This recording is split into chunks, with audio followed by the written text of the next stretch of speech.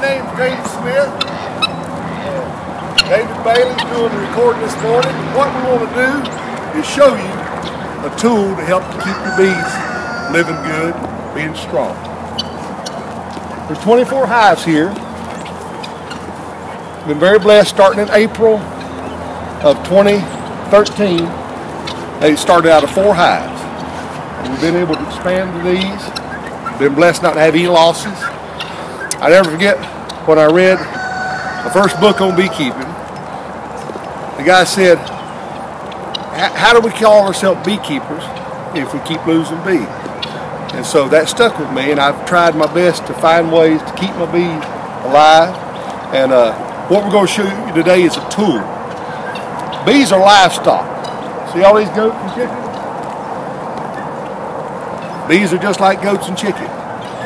You need to keep parasites out of them. They need to have plenty to eat, good nutrition, a dry place to live, a warm place.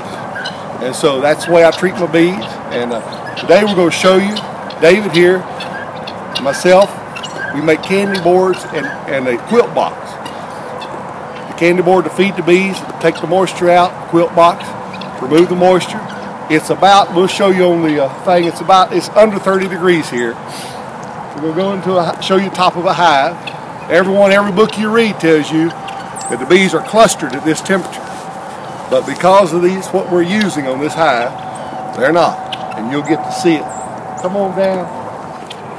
On the, on the bottom of this hive, we have a, a screen bottom board. It's three medium. On top of that is a candy board.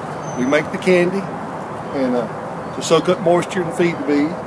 On top of that is what we call the Bailey Bee quilt box. It's working beautiful. Then on top of that, we use the uh, the Bee Smart uh, top, which is well ventilated. Here we'll show you. When you take the top off this hive, day like today, it's about 30 degrees. I don't know if the camera show it. You can see the slickness, all that water right there. Water is the worst. One a little bit of ice right oh, there. Yeah, that's right. And this is a good sign. Ice up here shows you that it, this this insulation is working. Because if the insulation wasn't working, there wouldn't be no ice because all the heat would be melting that ice. So the, the more ice you see here, the better it is. Now he puts this nice box, we put burlap in here. Now this this will get, it's, it's soaking wet on top. I don't know if you can see, it's real wet. You get down in here, it's dry. If you see, here we'll show you the difference. Let's see, let me get some of this wet. See how, how dark that is? That's wet, that's dry. That's the bottom. The heat from this hive is pushing that up. Now everyone tells you, all your bee books, most of them, they tell you you put your you put your your uh, inner cover, and then in the wintertime you have to leave gaps so the moisture don't drip down on the bees. So it's, it's a lot like heating your house with the windows down. You got gaps here, you got to put holes, everything, so the moisture don't drop on them. When this, no gaps at all. Only thing that ventilates this hive is this quilt box. Now, you think them bees in there happy and dry this morning? Let's see.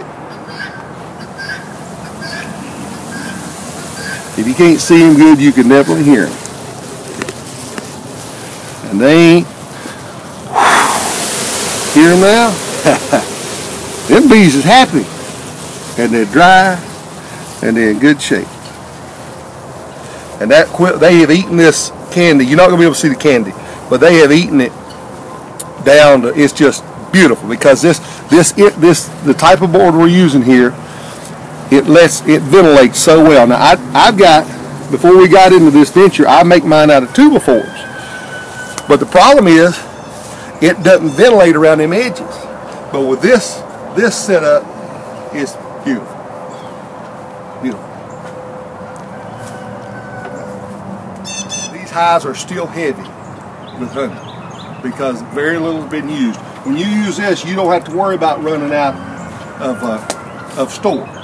And what we'll do, Lord willing, for too long, we'll intermingle the, the empties from the bottom with the store uh, so it keeps them from swarming. But uh, this this works beautiful. And uh, I appreciate you taking time to listen today, and hope, hope you like what you see.